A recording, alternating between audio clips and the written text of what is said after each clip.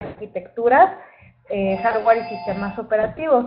Actualmente, Mario Chávez se desempeña en el área de entrenamiento a nuevos desarrolladores para Crowd Interactive, así como en la organización de la comunidad Rails.mx y CodesRetreat.mx. Ahorita les voy a poner las ligas en el chat para que lo vean. Y bueno, dejo con ustedes a Mario. Mario, bienvenido. Hola, ¿qué tal? Eh, muchas gracias por la por la presentación. Eh, bueno, creo que sí me escuchan bien sin ningún problema. Ok, eh, para iniciar, como todos saben, la, la, plática del día de hoy es por qué utilizar Ruby en el desarrollo de, de, aplicaciones. Y cuando digo desarrollo de aplicaciones, hablo de manera general, no específicamente para, para web, que muy probablemente es el, el nicho en el cual este, Ruby ha tenido el mayor éxito. Eh, como ya lo mencionó Vanessa, eh, soy ingeniero en sistemas computacionales. Actualmente trabajo para la empresa Crowd Interactive, en donde eh, trabajamos principalmente con tecnología alrededor de Ruby. de igual manera, participo en la organización de Rails MX, que es básicamente el sitio donde publicamos blogs y noticias o información eh, interesante para quien esté eh, eh, preocupado en este caso o que quiera conocer un poquito acerca, acerca de Rails. Tenemos por ahí alguna comunidad en, Google uh, Plus también alrededor. Y de igual manera estoy involucrado en la organización de Code Retreats en diversas ciudades del país.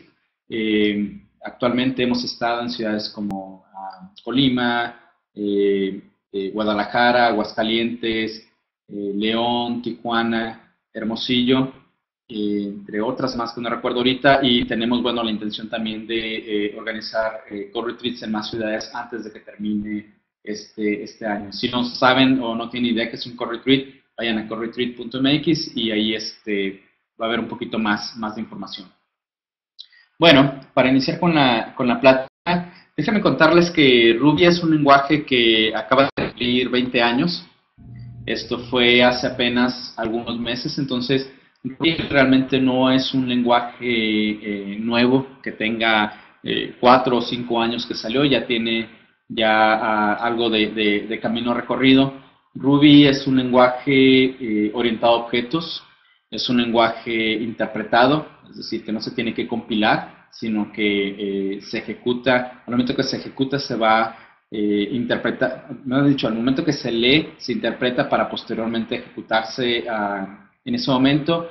Es un lenguaje ah, de los conocidos dinámicos, eh, y ahorita llego a otro punto y explico exactamente qué es dinámico. Eh, al igual que muchos otros lenguajes de programación, provee de un garbage collector, que nos evita el tener que eh, liberar memoria nosotros de manera explícita cada vez que eh, nuestro programa la requiera.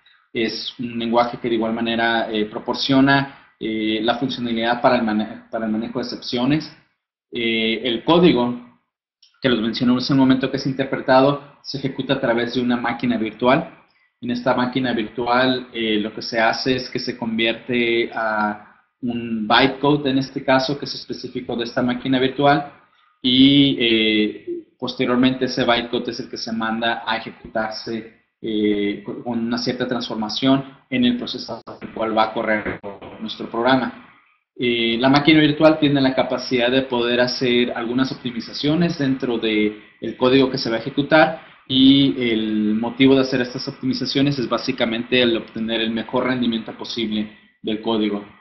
Eh, hace un momento les mencioné que es, dinámico, este dinamismo lo adquiere, a través de la metaprogramación, que es una de las piedras angulares o fundamentales de, Ruby en este caso, que nos permite hacer eh, cosas bastante, bastante eh, interesantes dentro del lenguaje de Ruby. Básicamente es generar código eh, o tener un programa que genere código para que ese código se ejecute bajo ciertos eh, contextos o ciertas eh, reglas o restricciones. Ruby es un lenguaje multiplataforma.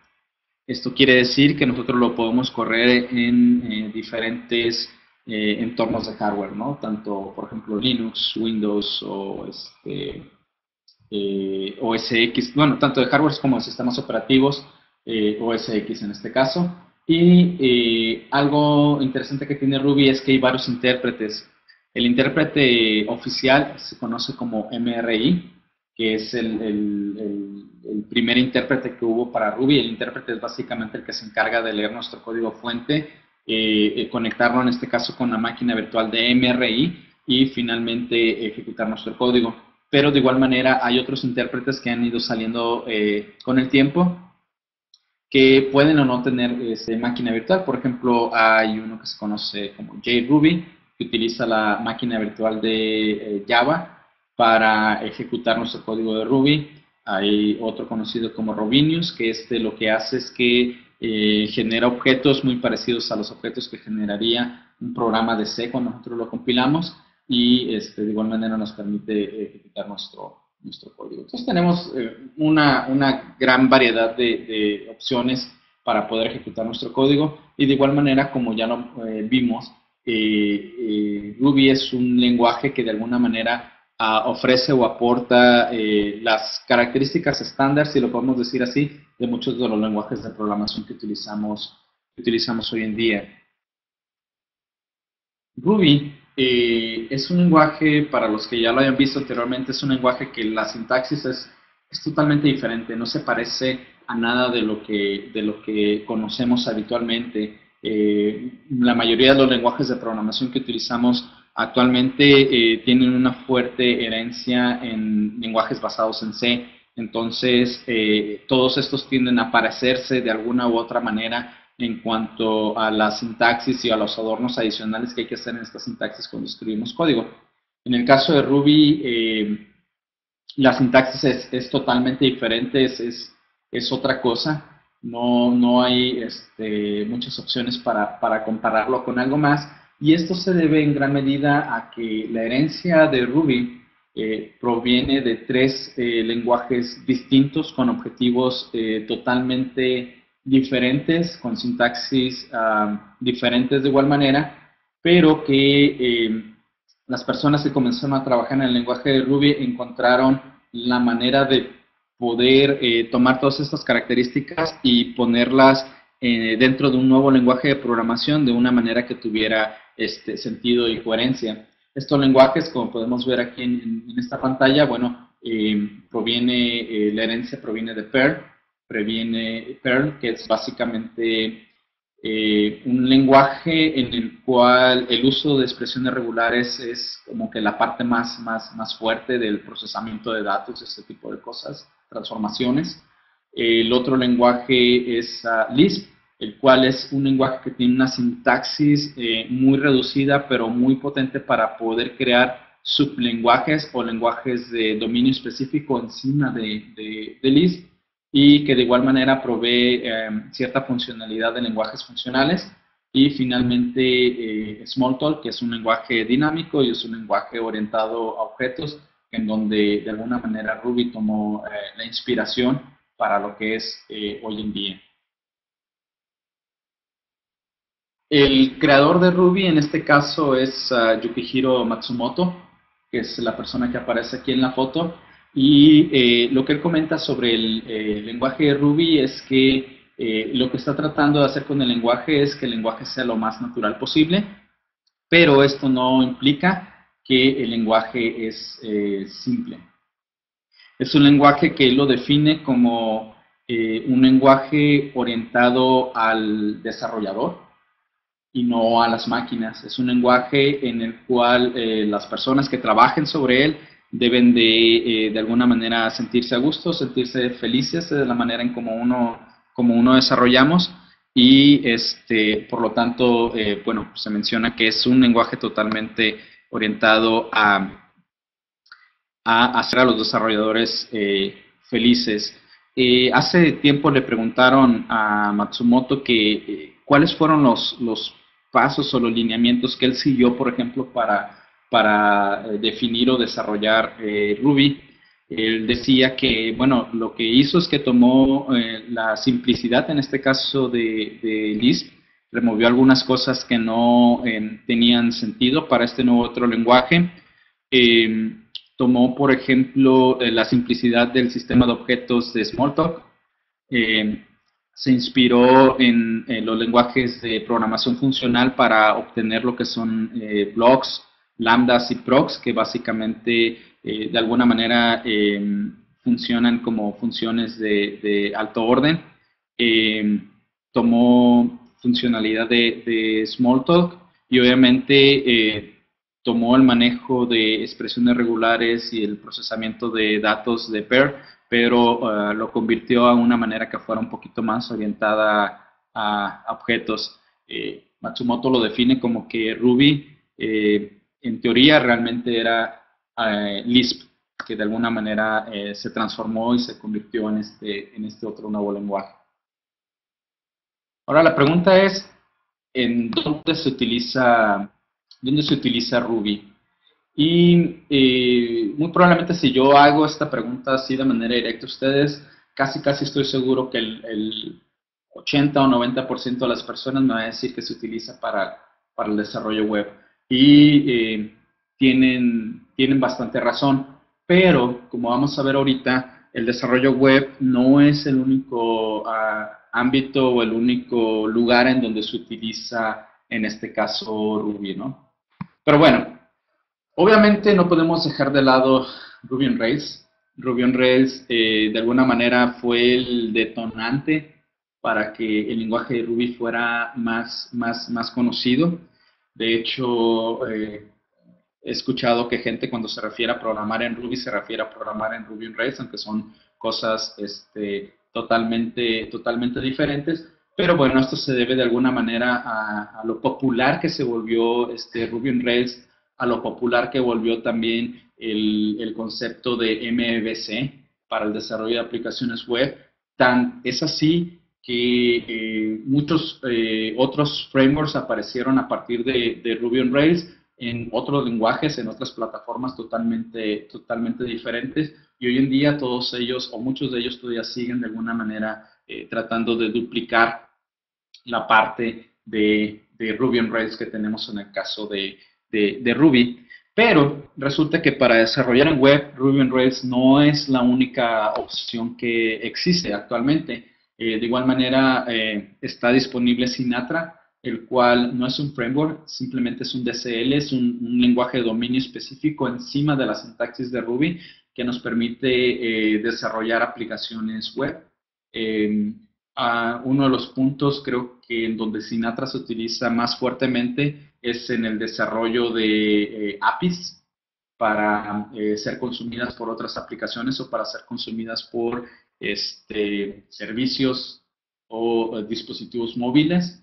En la fotografía aparece Blake Miserani, que es la persona de lentes, que es uno de los que iniciaron el desarrollo de, Sinatra ya algunos años, y ah, a su lado aparece eh, Konstantin Hase, que es el actual eh, líder o la persona que mantiene de alguna manera el desarrollo todavía de Sinatra.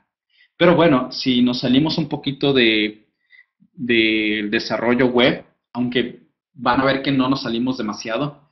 Eh, Ruby se utiliza en otros ámbitos. Resulta que hay eh, una serie de, tecnologías, en este caso, que es, un conjunto de librerías y otra vez son lenguajes de dominio específico que fueron construidos sobre Ruby, que eh, proveen funcionalidad para poder automatizar, en este caso, la configuración o el, deployment o el provisionamiento de, servidores.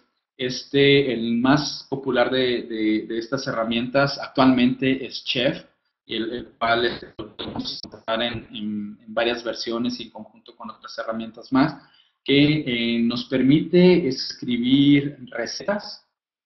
En este caso, estas recetas eh, implican qué librerías o qué paquetes tengo que instalar o se tienen que instalar dentro del servidor o recetas que nos permiten configurar eh, o, perdón, el modificar archivos de configuración y de qué manera se deben de modificar esos archivos de configuración.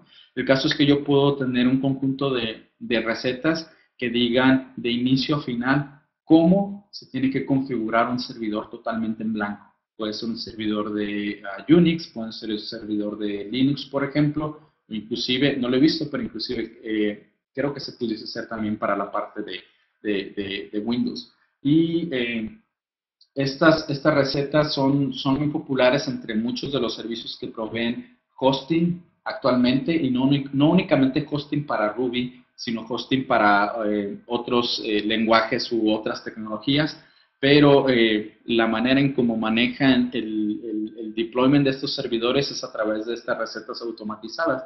Básicamente uno le, le dice este, a través de, un programa es, estos son los servidores, estas son las direcciones IP de los servidores que tienes que configurar y este es el conjunto de recetas y este es el orden en el cual tienes que ir aplicando cada una de las recetas y no simplemente le presiona Enter y ve cómo el servidor se empieza a configurar eh, de manera automática. Uno se puede ir, eh, como ahorita, por ejemplo, irse a, comer el, el, sándwich o, irse a la comida y cuando regresa más tarde, dependiendo de qué tan complicado eh, sea la configuración que hay que hacer con esos servidores, bueno, esto puede tardar este, desde algunos minutos hasta un par de horas, pero la parte importante es que eh, todos los servidores que se configuren a través de este tipo de recetas terminan siendo una réplica de los mismos. ¿Por qué? Porque ya no influye de alguna manera el factor humano en donde, ups, se me olvidó este, poner cierto paquete o poner cierta librería o cambiar o modificar o agregar una nueva configuración.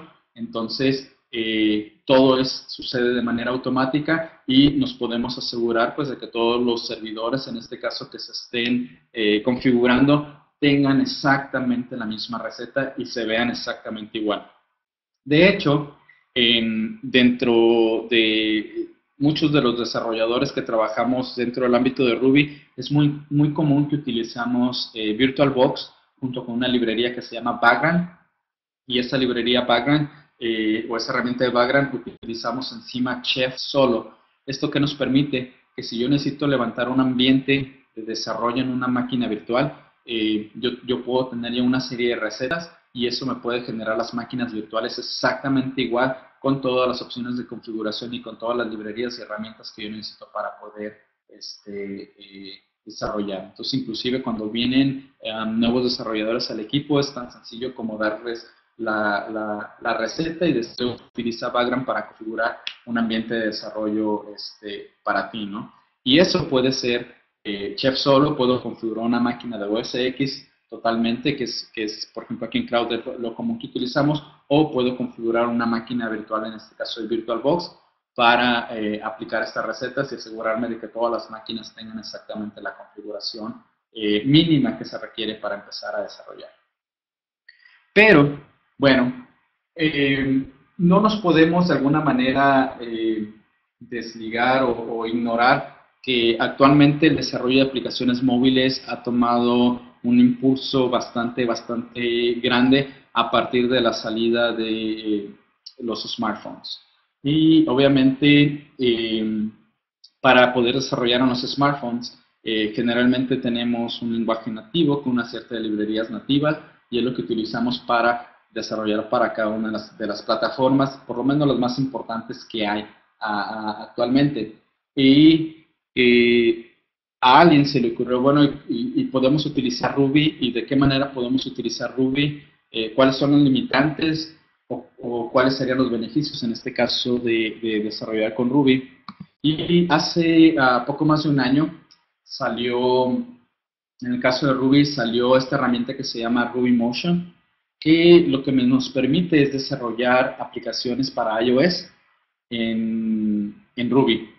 Pero tiene, tiene una variación. ¿Por qué? Porque obviamente no podemos ejecutar Ruby dentro de, dentro de un iPhone o muy probablemente no sería muy eficiente ejecutar eh, Ruby dentro de un iPhone.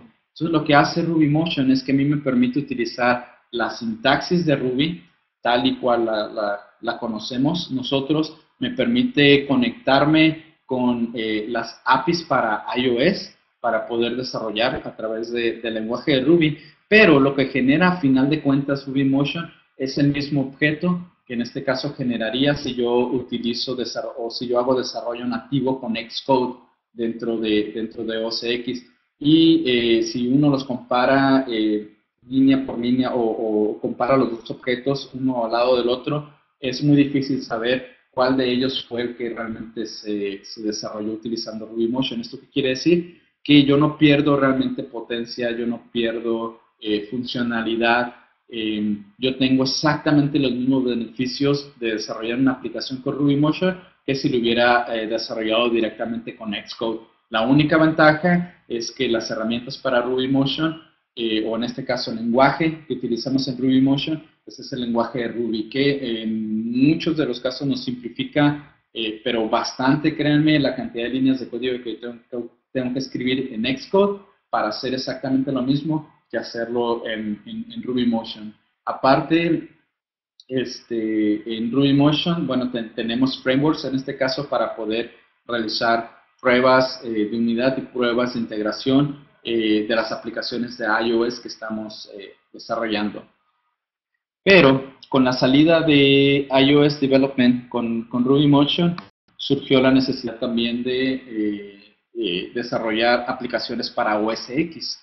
Y a, a, partir de la versión 2 de RubyMotion es posible hacerlo. Anteriormente existía MacRuby, que nos permitía de alguna manera desarrollar aplicaciones de, de OS X con Ruby, pero eh, bueno, uno de los, de los desarrolladores principales de Mac Ruby es precisamente el, fundador de, de, Ruby Motion y este, de alguna manera consumió eh, Mac Ruby en, en, lo que es este, en lo que es Ruby Motion y eh, bueno, a partir de, les comento, a partir de la versión 2 nos permite a nosotros desarrollar eh, aplicaciones nativas para OS X. Este desarrollo nativo es como lo mismo que les mencionaba con el, con el desarrollo para iOS. Si la salida de RubyMotion no es código, no es código de, de, de Ruby que se tiene que interpretar, sino que es un objeto que ese lo podemos pasar ya directamente o casi directamente para ejecución y si lo comparamos contra un objeto generado con Xcode o generado con eh, RubyMotion son prácticamente iguales, no hay, no hay gran diferencia. Es decir, el, el, lenguaje de Ruby, en este caso lo que hace RubyMotion es que sí lo compila y lo compila a algo que en este caso iOS o SX entienden para que puedan empezar a, a, a ejecutar. El único punto con RubyMotion es que no es gratuito, no es open source, tiene, tiene un costo la licencia, pero este, realmente si uno es desarrollador eh, profesional de iOS y hace aplicaciones para venderlas, este, el costo de la licencia realmente es, es bastante, bastante básico. Siguiendo con, con RubyMotion, y este no lo quería dejar de, de, lado, eh, se anunció a partir de la versión 2 esta serie de librerías que se llaman Joybox. Esta Joybox lo que hace es que eh, presenta un engine de juegos, así como la máquina de física, el manejo de sprites, animaciones, este, el manejo de sonido para el desarrollo de juegos.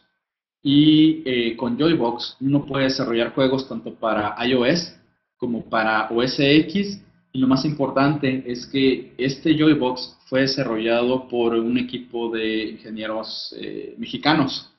Este, por lo cual yo creo que de alguna manera el, el, proyecto debería de, de, alguna forma tomar un poquito más de, más de, de importancia. Si uno va al sitio de, Joybox, uh, lo, que uno va a encontrar es este, inclusive guías de cómo eh, desarrollar un juego, cómo eh, utilizar eh, todas las herramientas que provee Joybox para poder proveer una buena experiencia de juego, en este caso al, usuario, ¿no? ya sea a través, como les mencionaba, a través de un dispositivo de iOS o a través de una aplicación de, de, de OS X.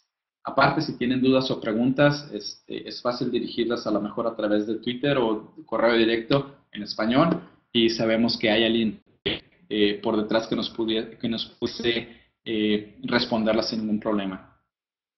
Bueno, siguiendo con las plataformas móviles, eh, ya vi que por ahí alguien lo mencionó en el, chat, efectivamente está Ruboto, que en este caso provee más o menos la misma experiencia, bueno, eh, provee el mismo mecanismo que, que MacRuby, en este caso, en el cual yo a mí me permite escribir mi aplicación de Android con la sintaxis de Ruby, me permite utilizar eh, las librerías y las herramientas de, del SDK de, Android para generar este, una aplicación eh, de Android en este caso. La única diferencia es que en el caso de Ruboto hay que incluir el runtime. eso de alguna manera es como que la máquina virtual en la cual se tiene que, eh, no la máquina virtual, sino otra serie de librerías donde se tiene que ejecutar el código. Eh, eso generalmente pues es un, detalle o es un, problema porque como lo mencionan ahí en el chat, efectivamente el runtime generalmente termina siendo una librería bastante pesada, que es mucho más pesada que la misma aplicación de Android para cargarla dentro del teléfono. Y pesada hablo en términos de, megabytes que hay que instalar dentro de la aplicación. Lo bueno que tiene es que eh, si tenemos el, el, runtime de Ruboto instalado en el teléfono y tenemos varias aplicaciones, pues nada más necesitamos instalarlo una sola, una sola vez y es posible este, reutilizar ese, ese runtime para más de una aplicación. Pero si el problema es decirle, tener que decirle al usuario, ok, para poder correr mi aplicación necesitas descargar esta, esta otra aplicación este, previamente. Si mal no recuerdo, creo que había mecanismos para poder integrar el runtime dentro de una misma aplicación, pero esto el problema que trae es que eh, eh, mi aplicación eh, va a de alguna manera cargar con el tamaño del runtime y no estoy tan seguro aquí qué tan reutilizable sea si yo lo incluyo en mi aplicación para que otra aplicación no lo requiera o no lo necesite, o si aún así otra aplicación adicional tiene que venir eh, e instalarlo, ¿no? Pero bueno, existe la posibilidad de, poderlo, poderlo hacer. El otro ámbito que se utiliza Ruby es eh, con los robots. Y de igual manera ya lo mencionaron ahí en el, en el, en el chat, ¿no? Está Artu, que es una librería, un conjunto de librerías y herramientas en este caso, que nos permite eh, conectarnos con una serie de, de, robots que en este caso están disponibles en el mercado, que son más accesibles, algunos no son muy económicos que digamos, pero aún así siguen siendo accesibles y que nos permite eh, programar en este caso con estas interfaces de hardware. Eh, es interesante que la gente de Artu eh, defina como que Artu es el Ruby on Robots, así como Ruby on Rails. Y bueno, de los dispositivos que yo he visto que han utilizado eh, o que se pueden utilizar, está el Sphero, no sé si lo han visto, es una esfera este, que uno la pone en el piso y, con Artu uno la puede programar para que eh, se mueva en diferentes este, direcciones, para que eh, vaya y encuentre otras, otros esferos que estén a lo mejor dentro del, mismo área donde se encuentran, es, es, algo bastante, bastante interesante.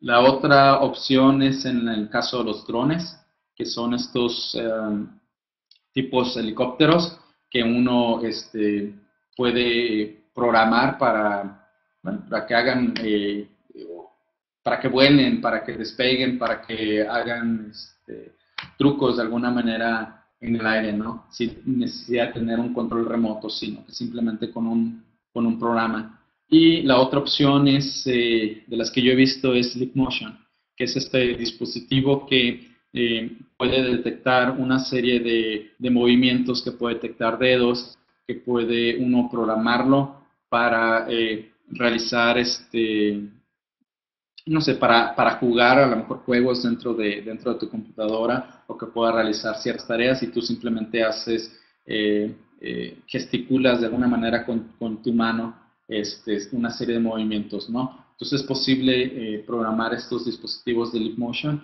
con uh, Artu y obviamente utilizando el lenguaje, el lenguaje Ruby. Otro de los, de los ámbitos en los cuales se utiliza Ruby es eh, para empotrarlo o embedded. Eh, ¿Esto que nos permite hacer? Bueno, yo puedo tener a lo mejor un programa, vamos a suponer Photoshop, que es uno de los programas este, que eh, soportan el, cargar extensiones. No digo que Photoshop lo soporte, simplemente lo estoy utilizando como un ejemplo, en donde yo pudiese, por ejemplo, a lo mejor, si ellos tuvieran el soporte de MRuby, eh, yo pudiese escribir un programa en Ruby, que ese programa me permitiera extender la funcionalidad del, del programa original sin yo tener que meterme en este caso con el código de, de, Photoshop, ¿no? Entonces nos permite a nosotros, si nosotros tenemos esa necesidad de que la gente pueda escribir plugins o herramientas adicionales sobre un programa este, que esté escrito a lo mejor en otro lenguaje diferente, es posible el, a través de Ruby poder empotrar este, un intérprete para yo poder escribir esos programas o esas extensiones dentro de Ruby. Eh, otros puntos donde lo he visto que se utiliza es, por ejemplo, para, para Arduinos, en donde yo puedo de igual manera empotrar MRuby dentro de la memoria del Arduino y esto me permite a mí que yo pueda escribir eh, programas en Ruby que me permita interactuar con eh, las interfaces, en este caso que me proporcione Arduino. Obviamente esto se abre la posibilidad a hardware en general y es un proyecto que inició el mismo uh, Yukihiro Matsumoto y ese proyecto eh, está eh, respaldado, eh, no sé si económicamente o no, pero por una agencia del gobierno japonés. Ahorita no recuerdo cuál es el nombre, pero hay una agencia del gobierno japonés que, que de alguna manera está dando el soporte para el desarrollo de, de, de MRuby. Entonces, como pudimos ver, el desarrollar en Ruby no únicamente se limita a desarrollar aplicaciones web realmente podemos hacer este, una, eh, eh, podemos utilizarlo en una gran variedad de, aplicaciones y servicios y, herramientas y muchas veces eh, son cosas de las cuales es muy difícil que nos, que nos imaginemos si no trabajamos realmente con, con, con Ruby. ¿no? El, el, abanico de posibilidades de lo que yo puedo hacer con Ruby definitivamente se abre o se expande. ¿Cuáles son las ventajas que yo tengo de desarrollar en, Ruby? Y créanme que son, que son varias. Y son varias y no todas tienen que ver con el aspecto técnico del lenguaje. Algún, obviamente sí, sí, sí tiene que ver, pero eh, como van a ver ahorita las que yo les voy a mencionar, no todas eh, están relacionadas directamente con los aspectos técnicos del lenguaje, sino que están relacionadas con eh, otras cuestiones de, entorno. Por ejemplo, la primera es que Ruby en general tiene una comunidad vibrante, es una comunidad bastante activa, hay rubistas prácticamente en todas partes, de, eh, en todas partes del mundo. Em, son eh, personas que están muy interesadas en lo que se refiere al desarrollo, en este caso con Ruby, eh, puede ser, ah, pueden, tener intereses específicos en, web o en móvil o en eh, alguna de las otras áreas que ya mencionamos, pero están muy, muy, muy, muy interesados en el, en el desarrollo de, de, esta comunidad. Es también una comunidad que tiene opiniones muy fuertes y que tiene opiniones muy variadas. En ocasiones eh, parece que la gente está, está peleando, pero realmente es el nivel de apasionamiento que hay dentro de eh, la comunidad, en este caso de, de, Ruby. Algo que no mencioné anteriormente es que Ruby es un lenguaje open source, está disponible a través de una licencia que nos permite este, pues hacer varias cosas, desde ir a inspeccionar el código fuente, este, eh, ir al, al, tracker de bugs y, por ejemplo, corregir yo bugs si, si, si es que puedo hacerlo, puedo mandar mis commits y si todo está muy bien, este, me pueden aceptar o puedo eh, mandar solicitudes, por ejemplo, para eh, agregar o quitar, no sé, funcionalidad, ¿no? Que lo hagan es otra cosa, pero bueno, es, está abierta la comunidad de alguna manera para poder este, eh, recibir ese tipo, ese tipo de, de, retroalimentación. Y obviamente como existe una comunidad muy bastante grande, este, hay una gran cantidad de librerías que en, el mundo de Ruby se conocen como gemas, que eh, nos proveen prácticamente todo lo que ya nos hayamos imaginado. Si ustedes quieren una, una librería para conectarse con robots, pues resulta que ya existe a lo mejor una, en este caso Artu, que ya existe para comunicarse con, con, con, robots. Si ustedes quieren una librería para trabajar o manipular archivos de PDF, bueno, lo más probable es que ya existe, no es probable, ya existe esa librería para hacerlo. Si ustedes quieren una librería a lo mejor para facturación electrónica aquí en México, casi casi estoy seguro que si venimos y buscamos, vamos a encontrar una, una librería. El punto para ir a encontrar todas esas librerías es en rubygems.org. Ahí este, en el buscador simplemente uno pone eh, unas, las palabras de alguna manera que describa qué es lo que están buscando y es muy raro el caso en el cual este, no dé algún, resultado de alguna, de alguna de estas librerías. Otro, otro punto importante es que estas librerías, si no todas, puedo decir que el 99.9% son librerías open source. Entonces, eh, por ejemplo, el, sitio de Ruby Gems menciona que actualmente cuenta registradas en su índice 61.708 librerías. De esas 61.708, muy probablemente 60.000 son open source, si no es que todavía más. Entonces yo puedo ir, inspeccionar el código fuente, revisarlo, este, ver la reputación de los desarrolladores, ver el listado de issues que tienen esas librerías y de alguna manera tomar una decisión educada cuál librería es la que me conviene. Ya no nada más simplemente que me provea la funcionalidad, sino que sea una librería este, que tenga un cierto nivel de reputación que yo, puede, eh, que yo pueda utilizar en mis programas de manera, de manera segura. Eh, todas, bueno, casi todas en teoría deberían de tener una licencia open source que especifique la manera en cómo yo la puedo utilizar tanto para otros proyectos open source como para este, productos comerciales. Otra de las ventajas que tenemos con Ruby es que eh, la sintaxis es increíblemente sencilla de aprender. Eh, la sintaxis, aunque al principio los que vienen con el background de C, es, eh, cuesta un poquito de trabajo como que adaptarse a que tengo que tirar las llaves, tengo que tirar los paréntesis, tengo que tirar otro cantidad adicional de adornos que existen dentro del lenguaje cuando yo quiero definir un método o quiero definir una clase. Este, la sintaxis de Ruby es, es, muy simple. Eh, eh, después de estar eh, desarrollando con él algunas horas, créanme que este, uno empieza a ver los, los, los beneficios.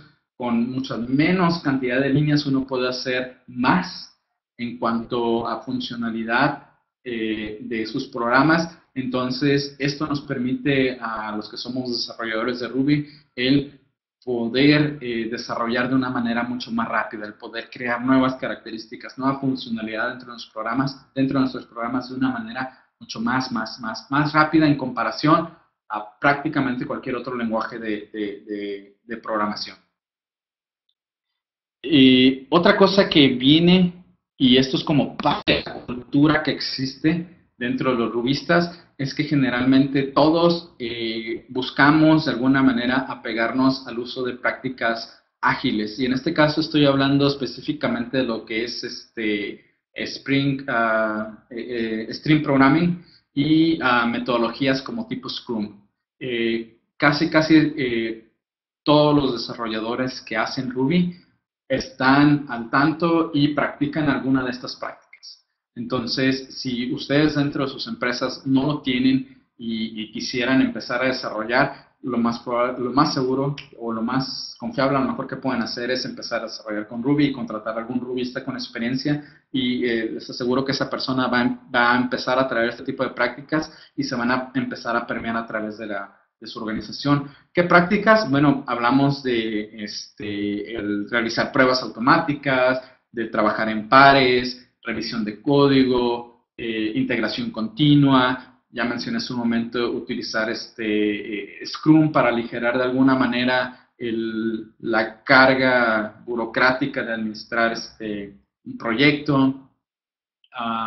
hablamos de eh, cuestiones como aplicar principios y patrones y guías para el desarrollo de aplicaciones de una manera eh, que nos permite entregar código de, calidad, pero sobre todo algo de lo que, de lo que muchos de los rubistas eh, eh, pueden ofrecer en este campo es que si bien están motivados porque el código sea de calidad, que sea código que siga una serie de, prácticas este, bien definidas, algo importante dentro de los rubistas es que son apasionados también por entregar valor en los productos que desarrollan. Es decir, es importante que el código esté bien hecho, esté bien definido, pero lo más importante es que realmente ese código no nada más se vea bonito en, papel, sino que realmente provea algún valor al producto en el cual nosotros estamos desarrollando esa, funcionalidad. de igual manera, lo mencionó ahorita, pero creo que vale la pena uh, mencionarlo en su espacio en particular, es la parte de Test uh, Driven Development. Dentro de eh, la cultura, de alguna manera, de los que desarrollamos en Ruby, eh, entendemos y vemos que el realizar pruebas automáticas, ya sea de unidad, de integración o cualquier otro tipo de pruebas, es una parte crítica y fundamental para el desarrollo de las aplicaciones.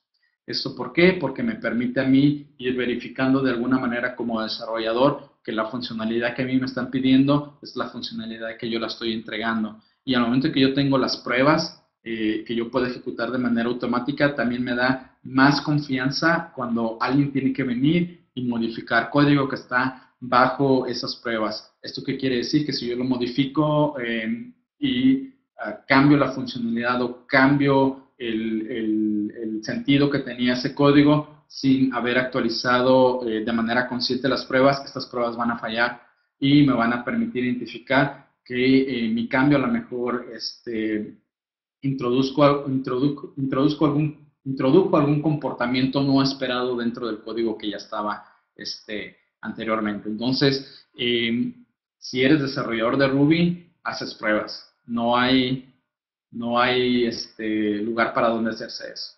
Es, es, parte, como les digo, parte de la cultura. otro, bueno, también de alguna manera lo mismo ahorita en las prácticas ágiles, la parte del, craftsmanship, que algunas personas no les, no les llama la atención o no, no están de acuerdo con el término porque de alguna manera significa que el, el desarrollar es, es, arte, pero este, generalmente los rubistas tratan de eh, diseñar o escribir eh, código que sea elegante y código que tenga un alto nivel de, calidad. Obviamente, como lo mencioné, sin olvidar la parte del valor que tiene que entregar este código hacia el, hacia el producto. Entonces, todo este tipo de, personas que desarrollamos en Ruby, de alguna manera cargamos como que esa parte dentro del entorno el entorno cultural. Entonces, como les mencioné al, inicio de esta sección, eh, hay calidades o cualidades técnicas que nos ofrece el lenguaje de Ruby, como la velocidad, la cantidad de librerías que existen, que sea open source, que tengamos acceso a revisar todo el código, por ejemplo, pero también existe una parte bastante importante que es la cultura. Y eh, es una parte que no está separada, que no se puede separar, es cuando nosotros pensamos en Ruby, es la parte técnica y la parte cultural. Ahora, ¿quién utiliza Ruby? Eh, esa sería una pregunta bastante interesante hacernos. Bueno, de entrada les puedo decir que muchas startups. Eh, nombrarlas, eh, se nos podría ir horas y horas de, de plática, ¿no? pero lo utilizan muchas startups. ¿Por qué lo utilizan? Porque como les mencioné, con Ruby es relativamente más rápido el desarrollar eh, esos, esos productos o esas ideas, por lo menos en este caso hasta un nivel de, MVP, de, sacar lo más importante del producto para presentarlo a inversionistas, para presentarlo a tus usuarios y para poder empezar a tener, a tener tracción. Entonces, hay muchas startups que cuando inician, inician pensando precisamente en utilizar Ruby. Y llámese ya Ruby en Rails o Sinatra o este, Ruby Motion o eh, cualquier otra eh, área en donde se vayan a especializar estas, estas startups o que sea su giro de, negocio. Simplemente para que se den una idea, aquí uh, recobré alguna lista de, ah, de las empresas que actualmente utilizan Ruby. Algunas de ellas son más conocidas que otras. de la primera que me gustaría destacar es Twitter, que este, desde hace varios años se ha comentado que Twitter dejó Ruby por X o Y razón. no es totalmente cierto. Twitter sigue utilizando Ruby, simplemente este, la infraestructura de Twitter eh, tuvo que cambiar por la cantidad de, usuarios, por la cantidad de tweets eh, que existen. Entonces, eh, tuvieron que hacer una serie de, de, ajustes internos dentro de su arquitectura, pero Twitter sigue utilizando, Ruby. Otra de las empresas a destacar es, por ejemplo, GitHub, que es ah, ah, la empresa que en este caso provee repositorios, tanto open source como repositorios privados ellos prácticamente toda su infraestructura está escrita en, en, GitHub. Y bueno, podemos ver que está Salesforce, VMware. Este, si alguien ve el History Channel y ha entrado a, creo que se llama Tu Historia o Mi Historia aquí en, Latinoamérica, donde aparece toda la información de sus programas y tienen eh, como una especie de red social para envolverlos dentro de, la mecánica de los programas, bueno, eso, todo eso está desarrollado en, Ruby.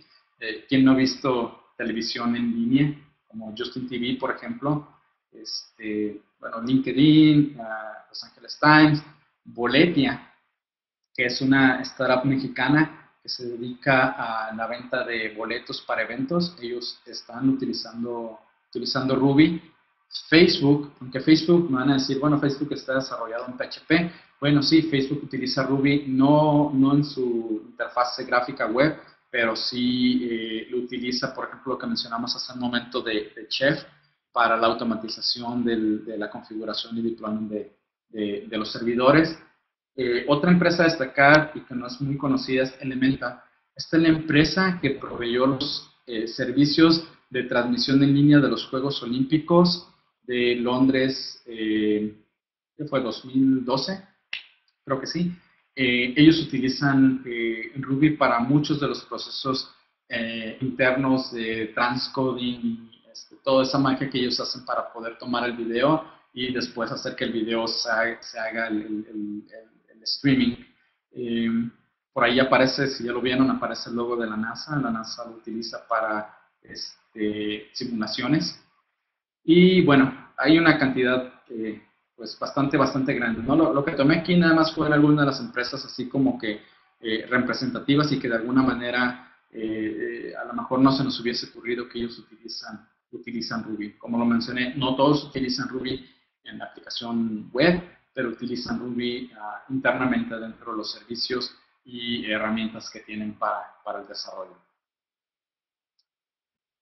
Algo que que es importante, por ejemplo, para una empresa cuando decide eh, eh, empezar a utilizar un lenguaje o cierta tecnología, eh, muchas veces buscan la, parte del soporte de enterprise. ¿Quién, ¿Quién me da el respaldo en el caso de que yo tenga algún problema? Ah, para muchas de ellas, en muchas ocasiones el que sea open source no es suficiente, necesitan ponerle cara y nombre de alguna manera a qué empresa puede dar ese, ese soporte o ese respaldo. Bueno, pues eh, existen realmente una gran cantidad de, de, empresas de, de, consultoría y de servicios y que ofrecen herramientas y que ofrecen cursos y ofrecen entrenamiento, capacitación, este, eh, en fin, toda una serie de, servicios alrededor, con lo cual eh, podemos tener la confianza de que en el momento en que exista algún problema o alguna situación o necesitemos algo adicional, podemos voltear a todo este eh, grupo de empresas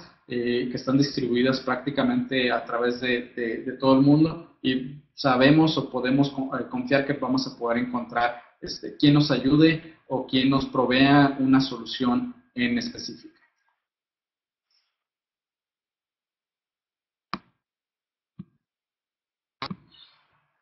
Algo, algo importante si ustedes son desarrolladores es que el mercado para ustedes es bastante grande si desarrollan en Ruby. Este, hay una gran, gran, gran, gran necesidad de desarrolladores de Ruby. Eh, lo vemos aquí en México por la cantidad de eh, mensajes y correos que nos llega de gente buscando desarrolladores, de los reclutadores, de empresas de manera directa en México, pero si voltean a ver todavía hacia Estados Unidos, ciudades como Austin, Chicago, eh, obviamente San Francisco, Portland, Seattle, simplemente no tienen suficientes ingenieros en el área de Ruby on Rails y muchas de esas empresas inclusive ofrecen las visas TN1 por si alguien está interesado de, en moverse hacia alguna ciudad en Estados Unidos. Y este entonces el, el, mercado es bastante bastante grande. Créanme que no es algo donde se van a encontrar en la situación de que no hay trabajo o de que es muy competido, de que si levantan una piedra y salen un montón de desarrolladores de cierta tecnología en particular, con Ruby, que eh, no pasa. Entonces, el, mercado para ustedes, los desarrolladores, es, bastante, bastante, bastante grande. Y bueno, con esto de alguna manera eh, finalizo la plática de por qué, por qué utilizar eh, Ruby dentro de nuestras empresas y pues queda únicamente ver si tienen, si tienen algunas preguntas. Por cierto, eh, mi Twitter, si quieren seguirlo, es arroba mario-chávez. Eh, generalmente ahí uh, comento sobre cosas de, Ruby. De igual manera está Rails.mx, que es el sitio de la comunidad Rails en México. Y ahí hay conexiones hacia Codificadas, que es un grupo de chicas desarrolladoras en Ruby. Y hay conexiones hacia Ruby Guadalajara, que es también este, la comunidad de rubistas en la ciudad de, Guadalajara. Ok. viendo algunas de las preguntas que aparecen en el, chat, eh, preguntan que qué en bases de datos es compatible Ruby. Eh, hay driver para prácticamente todas las bases de datos, eh, tanto relacionales como no relacionales. Pueden utilizar MySQL, Postgres, Microsoft SQL, Oracle, SQLite, eh, MongoDB, Redis, React, Cassandra, este, prácticamente la base de datos que ustedes se imaginen es la base de datos, existen drivers para poderse comunicar con ellas. luego me preguntan, ¿qué tan difícil es para los que tienen background en lenguajes de .NET comenzar a programar con Ruby? Yo hace cuatro años, cuando decidí dedicarme totalmente a Ruby, dedicaba mis días programando en .NET, eh, dedicaba mis días peleándome con el Visual Studio porque se trababa y se ponía lento. Entonces, no veo gran, gran eh, gran problema. Inclusive aquí dentro de Crowd, eh, cuando, como no, no hay una gran comunidad de desarrolladores, cuando necesitamos gente, generalmente buscamos eh, con experiencia buscamos gente a lo mejor que tenga experiencia en .NET o que tenga experiencia en Java y nosotros nos encargamos, por ejemplo, de capacitarlos para que aprendan para que aprendan Ruby y esa capacitación generalmente tarda un par de semanas antes de que, eh, sobre todo para la gente que tiene experiencia, eh, un par de semanas para que empiecen a, de alguna manera ver y sentir y entender el, poder, de, el poder de Ruby. Luego me preguntan qué puedo hacer para que la empresa donde laboro adopte el desarrollar en Ruby. Ah, es, es buena, buena pregunta. Eh, yo digo que lo primero que debiste derecho a lo mejor es haber invitado a tu jefe o a alguien que puede tomar la decisión a, ver el, webinar. Eh, realmente es es, es bastante difícil. Yo creo que lo primero a lo mejor que pudieses hacer es eh, empezar a aprender Ruby por tu cuenta, fuera de la empresa, y a lo mejor encontrar algún proyecto pequeño dentro, dentro de tu empresa que, que pueda, un proyecto pequeño y que no sea crítico. Y cuando digo que no sea crítico, no porque Ruby no lo pueda manejar, sino que no vaya a volverse un problema para ti porque no está terminado o porque está terminado en otro lenguaje y de alguna manera pedir el permiso a, quien, se lo tengas que pedir para a lo mejor intentar hacer esa, ese pequeño programa o esa pequeña aplicación en, en, Ruby y luego posteriormente eh, realizar una especie de retrospectiva cuando lo termines de eh, qué fue lo que encontraste, qué fue lo, que, lo bueno que encontraste y qué fue a lo mejor lo no tan bueno y obviamente expresar las dos, las dos opiniones y a lo mejor eso puede servir como eh, punto de entrada para que la gente pueda, en este caso, darte la posibilidad de seguir desarrollando, desarrollando en Ruby. Yo cuando hice el cambio, yo trabajaba como freelance y comencé con un cliente este, básicamente lo que hice es decirle, si te lo hago en .NET me tardo tanto tiempo y te sale en esto, si te lo hago en Ruby me tardo menos tiempo y te sale un poquito más económico. Y de alguna manera fue este, mi punto de venta en aquel, en aquel entonces. Luego me, me, comentan, sé que mencionas que en el mercado es amplio, pero el grueso de las ofertas laborales de Ruby on Rails piden muchos años de experiencia para un recién iniciado es un, es un problema. Em, sí, definitivamente puede ser un problema eh, si no tienes experiencia, pero eh, aquí la única solución es que construyas tu, propia experiencia. Eh, de hecho, en, la mañana venía escuchando un podcast de una consultora en Estados Unidos que decían que para la gente en el área del desarrollo, y hablaban en general, no, específicamente para Ruby, los currículums eh, están muertos, los currículums no sirven. De nada sirve que me pongas en un papel que tienes experiencia en X, Y y Z. El currículum de hoy en día es, este, de alguna manera, empezar algún proyecto, empezar proyectos personales, empezar a ver estas librerías que, que existen en open source, empezar a comentar, empezar a resolver este, problemas, puede ser simplemente resolver preguntas dentro del, del, registro de issues y a lo mejor eh, posteriormente empezarte a mover a, a, realmente solucionar problemas de código y definitivamente si quieres demostrarle a alguien que tienes experiencia en el desarrollo de Ruby o desarrollo de Rails, no hay otra, otra manera mejor que mostrarle a lo mejor tu cuenta de GitHub y que ellos puedan ver, ups, ah, eh, colabora o participa en toda esta serie de proyectos. Generalmente créanme que eso es, eso es la mejor herramienta de ventas que hay para alguien que se quiere dedicar dentro de Ruby y que se quiere eh, dedicar dentro de Rails. Sí, Firebird también está soportado por, Ruby, hay una gema por ahí. Eh, Informix, eh, no estoy seguro si Informix, habría, habría que revisar, pero habría que buscar. ¿Qué ideas recomiendas para Ruby? hay varias no es que les recomiende, simplemente las voy a mencionar. Está, por ejemplo, una que está así bien específica para Ruby, es RubyMine. Es una IDE que tiene un, costo, no es, no es realmente muy cara, pero es posible utilizar. Y creo que es la única IDE que existe. De ahí en fuera todos los demás son editores de texto. Eh, uno de los más populares actualmente es Sublime y también tiene un costo, pero también no es, no es muy caro y te sirve para otros lenguajes más, no únicamente para para Ruby, si utilizas uh, OS X, está Text, que actualmente ya es gratuito. Y eh, yo personalmente utilizo Vim, que es un editor de texto en la línea de comandos, que es este algo de lo más, de lo más eh, sencillo, creo yo, por lo menos para mí, y que me permite ser, ser bastante productivo. ¿Cuál sería el camino sugerido para empezar en Ruby?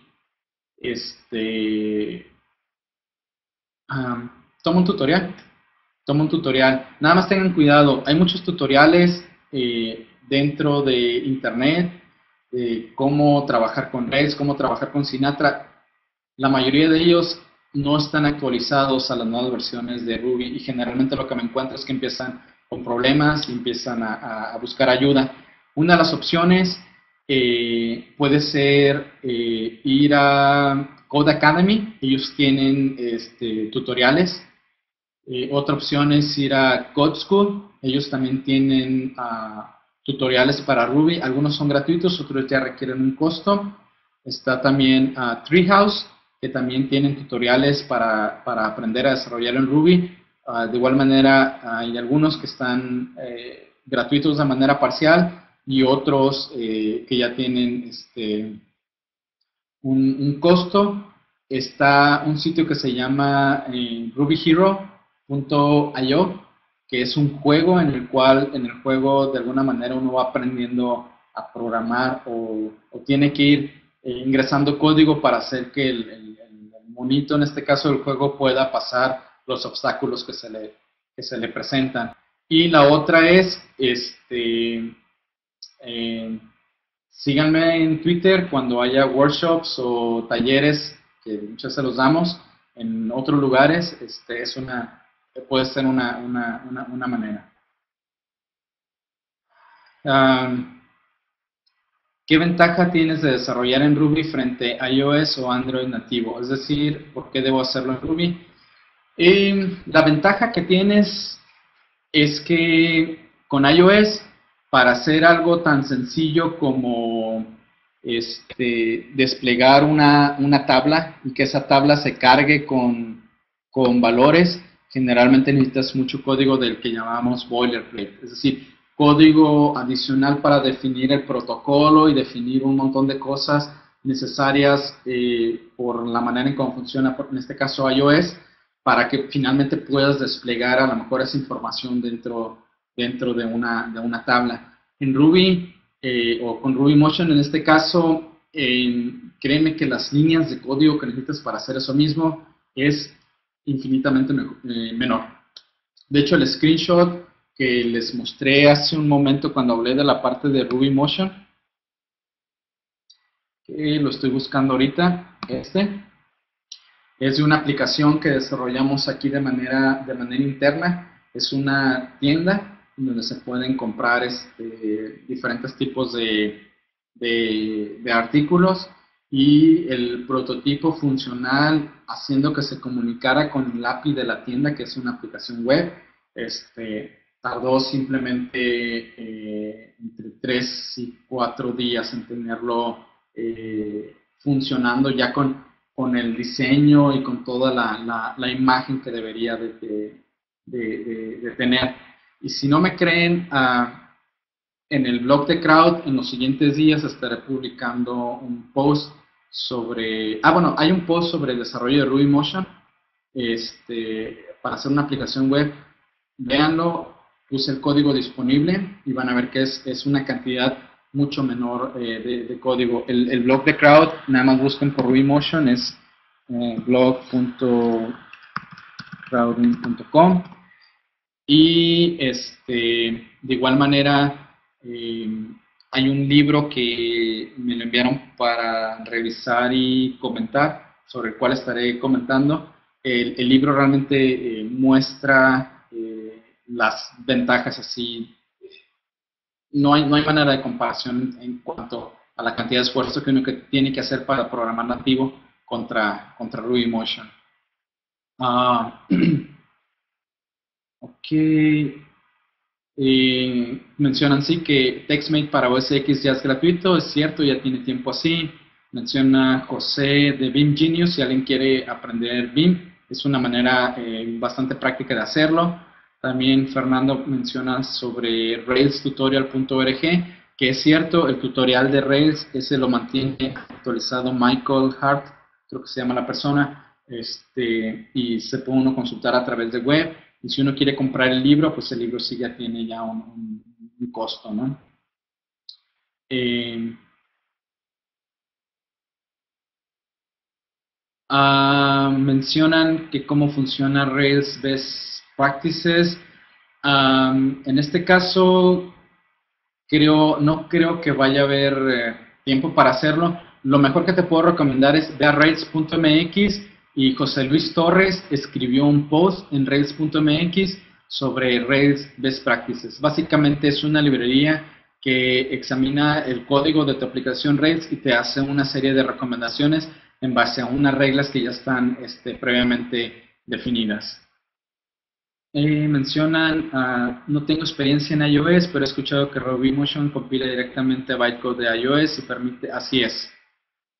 Eh, así es, RubyMotion compila directamente al bytecode que se utiliza para iOS, eh, por lo cual les mencionaba, no hay ninguna diferencia entre una aplicación escrita en Xcode o este, en RubyMotion, y, pero depende mucho de la experiencia para poder programar en Motion hay que tener experiencia con el API de, de iOS. Ahí sí no hay, no hay manera de poderlo cortar.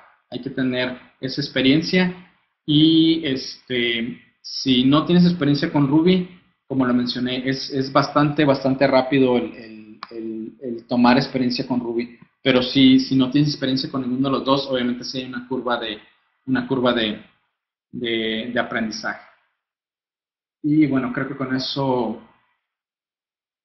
termino las, las preguntas, por lo menos que había aquí en el, en el chat.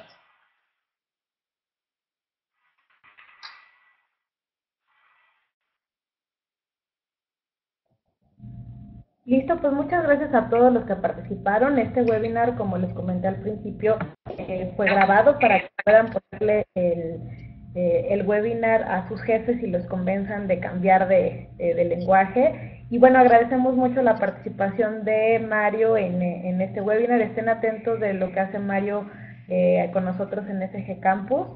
Y eh, recuerden que todos los miércoles a las 2 de la tarde tenemos estos webinars para que nos acompañen. Si no hay ninguna otra duda, este, después se les mandará la liga eh, a los que se registraron para que chequen la grabación. Y también les recomiendo que sigan el canal de YouTube de Software Guru, ya que ahí publicamos todos los webinars. Entonces, muchísimas gracias a todos por participar, que tengan buen resto del día y muchas gracias, Mario. Muchas gracias a ustedes. Buen día, bye. Hasta luego.